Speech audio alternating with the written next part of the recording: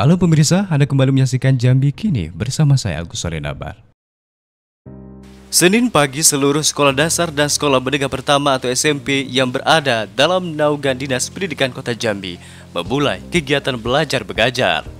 Jika sebelum COVID-19 hari pertama masuk sekolah selalu tampak ramai dan suasana ceria, maka kali ini justru hal yang sebaliknya. Sederet protokol kesehatan yang ketat diberlakukan di sekolah.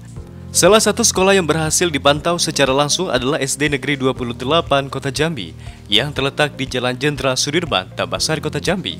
Di SD tersebut hari ini mulai dari siswa yang duduk di bangku kelas 4, 5, dan 6 mulai mengikuti kegiatan bersekolah setelah libur lebih dari tiga bulan. Tanpa para guru dan satpam mengatur setiap kendaraan wali murid yang datang mengantar anak mereka. Parkir kendaraan pun disetting meluas hingga ke halaman beberapa ruko di sekitar sekolah. Di dalam kelas masing-masing siswa dibatasi jumlah masuk kelas dengan menggunakan metode shift 1 dan 2. Di meja siswa juga terpasang bilik transparan yang dipasang per meja.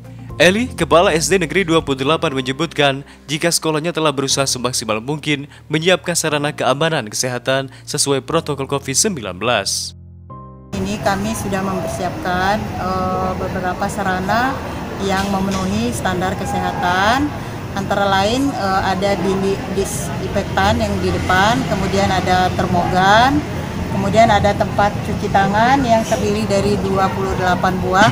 Jadi setiap kelas itu ada tempat cuci tangannya.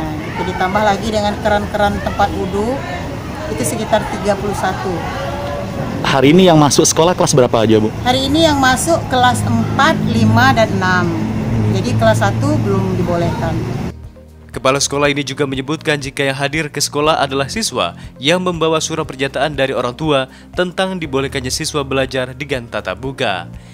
Jika tidak memiliki surat, maka metode yang digunakan oleh pihak sekolah adalah dengan metode daring. Adapun untuk mata pelajaran olahraga, aktivitas baris berbaris serta tugas sekolah, Eli menyebutkan itu semua ditiadakan.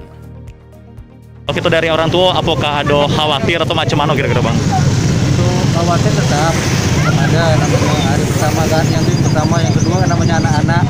Nah, takutnya anak-anak yang namanya protokol ini kan, nah, takutnya kan tidak dipatuhi karena anak-anak. Apalagi yeah. lama libur, nah, baru ketemu kawan sudah sekian bulan nah, pasti seru ya namanya anak-anak nah, takutnya itulah uh. ingin main-main dan tidak mengikuti protokol namanya anak-anak dari kota Jambi Muhammad Sirik Jambi 28 TV